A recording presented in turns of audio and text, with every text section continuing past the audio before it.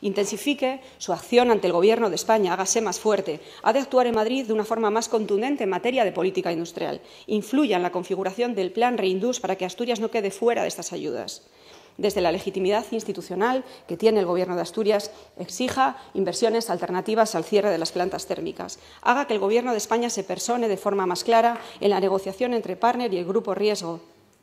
Haga que el Estatuto de las Empresas Electrointensivas incluya eh, las, propuestas de Asturias. Explíquele, por favor, al señor Sánchez lo que significa para Asturias que el corazón de nuestra industria y nuestra economía, ArcelorMittal, esté en este momento solo al 50% de su capacidad.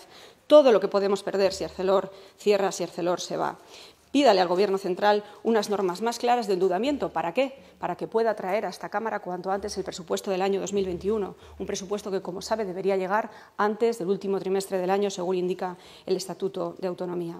Esos 289 millones de euros del Fondo COVID no van a ser suficientes, pero podemos hablar, por ejemplo, de los fondos FEDER que el País Vasco ha dicho que va a utilizar. En fin, una larga lista de propuestas que dependen de usted y de su gestión.